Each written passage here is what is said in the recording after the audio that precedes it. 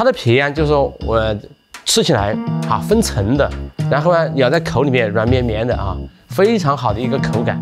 然后它的馅儿啊，我们是用这个啊云南的一个松茸，特别好的一个松茸拌的馅儿。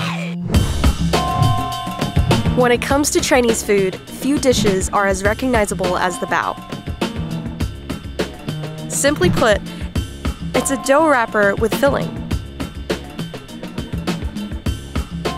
But there are so many variations in China, so we'll look at different baos and show you how they're made and the story behind them.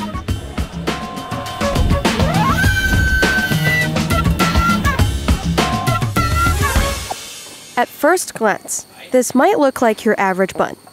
But bite into it, and you'll find that instead of a plain wheat wrapper, the skin is flaky.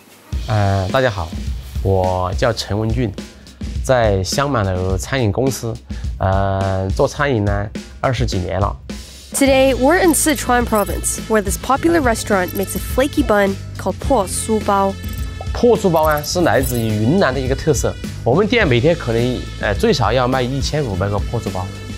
Chen is from Sichuan, but he discovered po su bao on a trip to Yunnan six years ago. He was inspired by the texture, 哎，我说这个包子蛮不错的嘛啊，这个我们也可以做啊。 so he brought home one with him, and he tried to reverse engineer a po su bao. 有一天我就专门来做这个东西，做完这个东西我就第一次没有成功，可能这个酥起的不是很好。我第三次我就成功了。破酥包的皮啊，首先我们在选面粉的时候很重要，面粉必须我们要选低筋面粉，啊，不能选高筋面粉。 Low gluten flour ensures that the skin stays soft and crumbly. The flour is then combined with yeast and water. 我们在做包子皮的时候，我们就用温开温水，要用温水揉面。如果冷水揉面的话，这个发酵过程太长；如果温水揉面的话，我们的发酵过程就要快一点。我们在揉面的时候呢，我们必须要把面揉熟，啊，就是很光滑的时候，就是我们的面就揉熟了。然后擀开以后呢，我们把那个猪油哈，要用刷子啊，用刷子刷薄薄一层在上面啊，然后再把它卷起来，然后再做成我们这个包子的皮的一个结子。This delicate process is what gives the bun its signature layers. The filling is usually made with pork. Chen's po su bao is unique because he packs them with wild mushrooms. 呃，包子馅儿就是两种、三种材料哈，肉层。第一种是我们的松茸，第二种是我们的金五花肉，啊，第三种就是我们的这个呃葱花。松茸是我们的菌中之王，呃，它主要生产在什么地方啊？海拔两千米以上。Chen's matsutake mushrooms comes from Yunnan, which has 36% of the world's edible mushroom species. 呃，松茸啊，一个是产量少，呃，物以稀为贵嘛。首先我们在选料的时候啊，我们就把每一颗松茸要选好。然后我们其次我们选这个五花肉的时候啊，要金五花，它的肉质饱满，然后肥瘦均匀啊，这个这个做出来的口感才好。The filling is then wrapped in the skin. 哦，这个包子包好以后啊，我们必须要再再发一下，然后发起来以后啊，把我们的面粉发起来以后啊，然后再上笼蒸。破酥包这个面为什么要发酵呢？它为了我们口感好一点，这个火必须要大火，哎，大火才把这整个这个包子才冲得起来。哎，如果小火蒸的话，它的发没有发够的那这个面的话，它就把这个包子整个发酵的过程就蒸不蒸不开，啊，吃起来口感就不好。包子蒸的时间大概就在半个小时左右。第一个破酥包看起来是表面很光滑，然后呢一掰开以后呢，酥层很匀称。首先第一口咬进是酥酥的，第二口再咬到这个馅儿的时候啊，菌香味浓，哎，然后啊，这个回味很很这个很丰满，就咬在嘴里面满满的一口都是菌香味。其实很简单啊，很简单，只要把低筋面粉和这个我们这个呃猪油结合在一起来，就可以做成一个很完美的破酥包。最有特点的是这个这个包子的皮，只要把这个皮做好啊，它的里面的馅儿就可以千变万化，就可以做。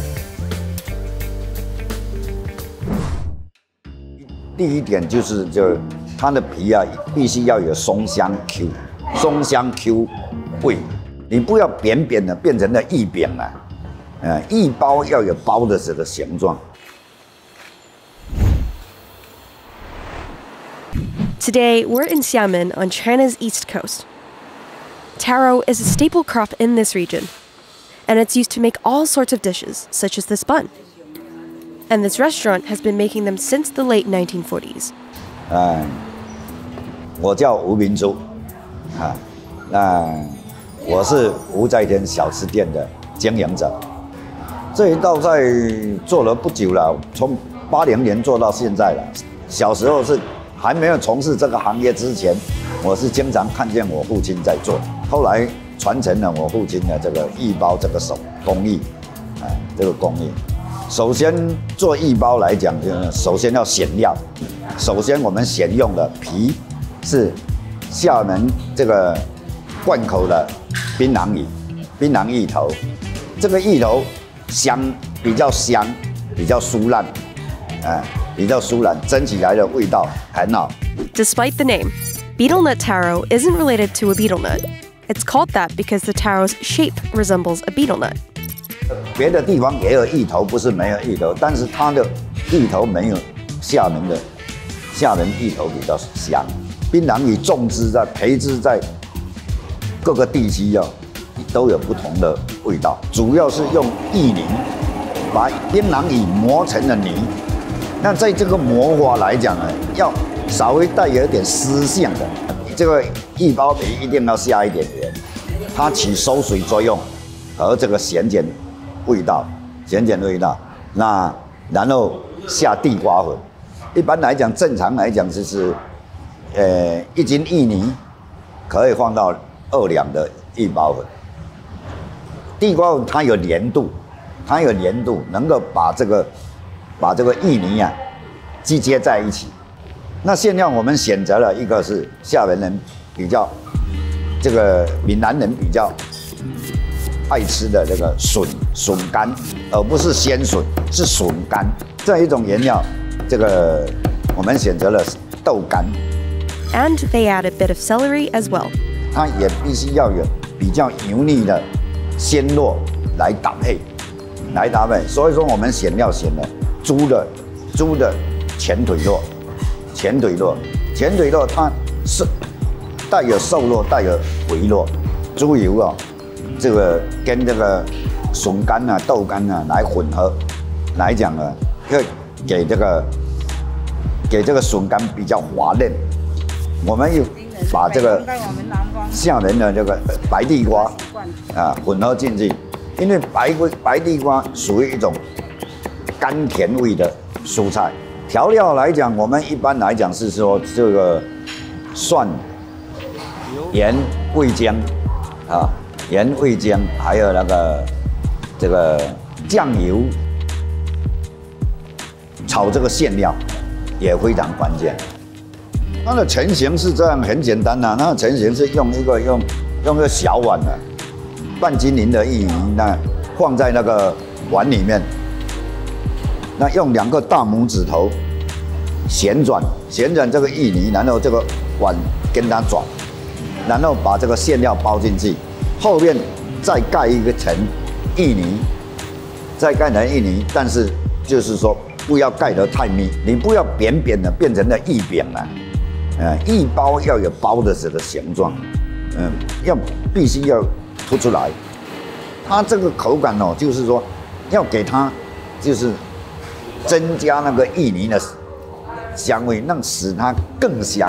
所以说必须要下葱，干葱，干葱头。它馅料是熟了，所以说它不要蒸煮，只要能够把这个馅料渗透，那芋皮蒸熟就行了。那我们掌握的时间一般来讲差不多十五分钟了。哇，如果经验比较丰富了，他只要用手在芋皮上面稍微按一下，他就知道有熟没熟了。第一点就是就它的皮啊，必须要有松香 Q，松香 Q 味。我们配的酱汁是我们自己调制的沙茶酱，沙茶酱也就是沙爹酱，沙爹酱它含有花生。还有一个是厦门比较厦门人比较爱吃的甜辣椒酱，甜辣椒酱，还有一个是芥末芥末酱，还有一个是这个这个沙士酱。现在我儿子在做，呃，基本上，呃，是第三代的。呃，大家好，我叫吴思航，啊，我是吴在天小吃店第三代传人。那现在这个店由主要由我在呃负责运营，爸爸在负责技术支持这一块。就是它的这个酱料本身就是很符合闽南这一代的一种饮食那种习惯，不会特别辣，又呃微微微有一些偏甜，然后有点那种花生那种香味。其实基本最难的环节，我觉得是馅料吧，馅料的制作。因为因为馅料的制作它是有一个流程的，就是它的每一道每一道这个食材下的顺顺序以及调味品下的顺序，其实都是不一样。但是从皮来说的话，我希望它它我尝起来的话，它应该是一种。嗯，有点像类似糯米，但是又不太像那种米，但是又要能够有预包很重的预包香味一样。而那还有一个就是老一辈人经常爱说，哎，经验之谈，经验之谈。其实最最主要还是火候，如果是真的需要一个一段时间的制作，你才能真正掌握这个火候到底需要什么样子。本身我们的整体的质量跟呃口味基本上保持原来的，因为很多老一辈来说都是吃古早味，古早味，它它就是。以前在他们那个年代，他们的回忆，他们所带来的味道，跟现在基本上是保持一致的。寿桃在当地就是祝寿贺寿，给老人过寿用的，但是在咱中国的文化当中，它已经有几千年的历史，就是送寿贺寿。本身尊老爱幼就是咱中华民族传统美德，所以说贺寿的话，一般的就会给老人做一些寿桃。嗯，寿寿桃嘛，它就是代表长寿的意思。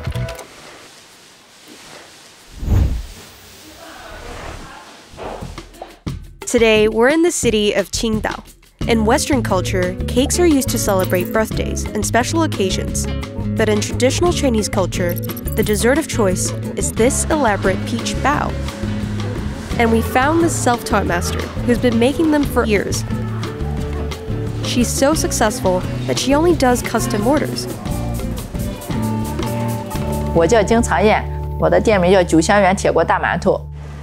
我干这个面食行业已经十二年了，我干花样寿桃馒头大约有五六年的时间，可能一个月下来也就在一百个寿桃左右。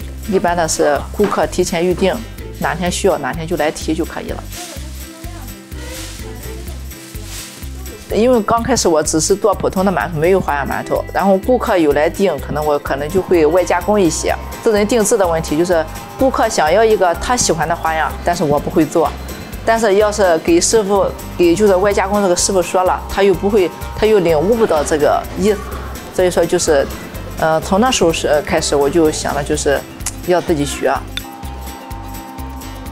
就是慢慢的，再一个我也会出去找一些，呃，其他那个地方的一些老师学习，再一个就我们每年都会有比赛，也会那个互相切磋，嗯，所以说在这基础上会才会慢慢的越做越好。那就是交给顾客一个寿桃之后，他们比较满意，说老人很喜欢啦，或者是说，哎，我送给我的一个朋友，他特别的开心。其实听到他那样描述的时候，我自己的心里也是非常高兴的，所以说就特别愿意去做这件事情。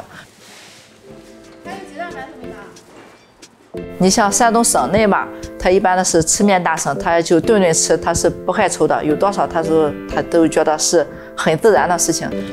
如果说我这么大的寿桃上了广州那边，他就觉得我的天呀，这一个寿桃我什么时候才能吃掉？可能我们呃山东这一块的就不大喜欢吃里头包馅的，可能南方的一些朋友就比较愿意吃一些甜食，就愿意包一些豆沙了。The first step is to knead the dough, which is done in these giant industrial machines. 我们用的面都是专供的面粉，它是就是小麦麦香味是比较浓的。呃，和面的这一步肯定是最呃注重的，应该就是面的软硬程度。如果太软的话，它成不了型；如果太硬的话，它那个就是揉起来很容易扒，它就没有那个光泽度，也不好。嗯，那个桃子的形状，你像小桃吧，然后桃尖要是太尖的话，它蒸出来太容易干干，而且容易那个桃尖容易扎手，成型就会把它揉成。大桃、小桃还有底盘，然后在最后，呃，需要放在锅里发酵，不，先需要放在发酵箱里发酵，然后它的温度大约是四十度左右，然后湿度也不能太干，也不能太湿，然后再放锅里蒸出来，蒸可能大约就要蒸到四到五十分钟。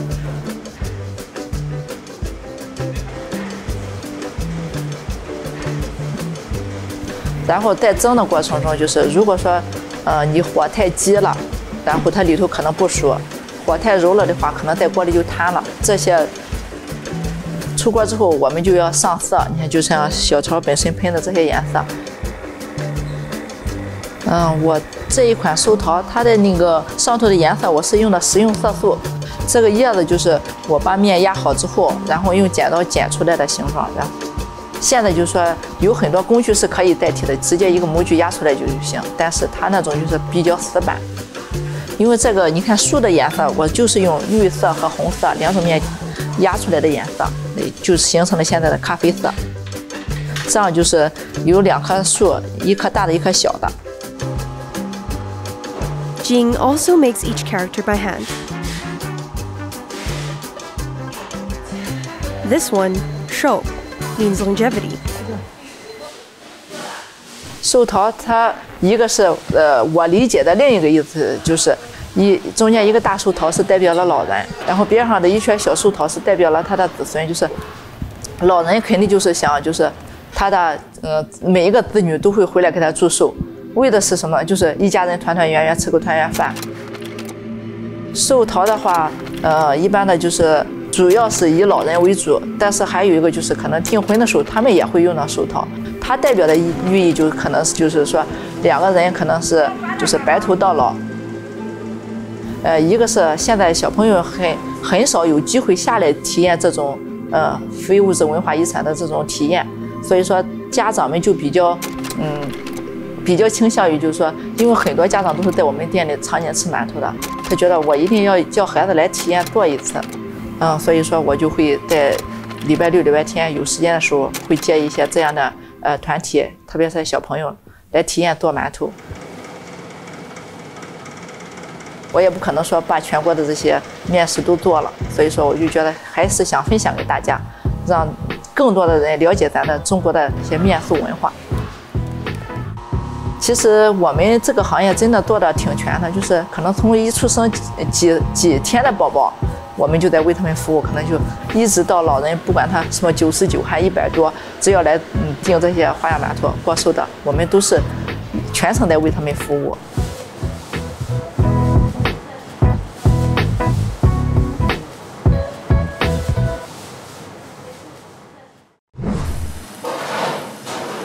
制作米包子的时候，要提高口感好的话，皮制作很关键。那馅料也是要炒至熟香发出来以后，再加入萝卜、韭菜，那口感就会更好。我是没有什么补充的，我要做我要做事情了。你等下蒸蒸米包子给你吃了，你还有什么话要问我的吗？是你还有什么要要问我的？没有了，我就我要做事了。In Fujian province, there's a town that specializes in baos. But instead of being held together by a wheat wrapper, which is typical of most baos across China, these baos are wrapped with rice. Rice baos are a specialty of the Hakka people in Fujian, historically based in the mountains of southeastern China. 我叫钟翠华，今年四十三岁，嗯，做了零化客家小吃十年了，主要经营 宁化米包子，这个米包子从是从古至今祖辈上传下来的，我是在妈妈手上学会的。刚开始做的时候也碰到很多问题，馅料弄得不清楚，然后皮制作的很烂。后面经过两三个月的精心学习，才慢慢学到了。The hardest part of making a rice bao is getting the texture of the skin right. Unlike wheat, which has gluten to give it structure, rice is a bit harder to manipulate. 米包子的皮是用优质大米浸泡四小时，四小时后把它磨成米浆，磨成米浆后，下入油锅炒至五成熟，然后起锅。起锅后加入木薯粉，搓至不会粘手，那就成了。And as for the filling, the inside is a mix of daikon radish, chives, dried shrimp, pork, fresh bamboo shoots, and shiitake mushrooms. The daikon radish is blanched first to soften it, and the main fragrance comes from the chives. 米包子的馅料是把萝卜、冬笋、香菇、瘦肉切成小丁块，下油下猪油炒， 炒至熟以后起锅，然后把那个韭菜掺入。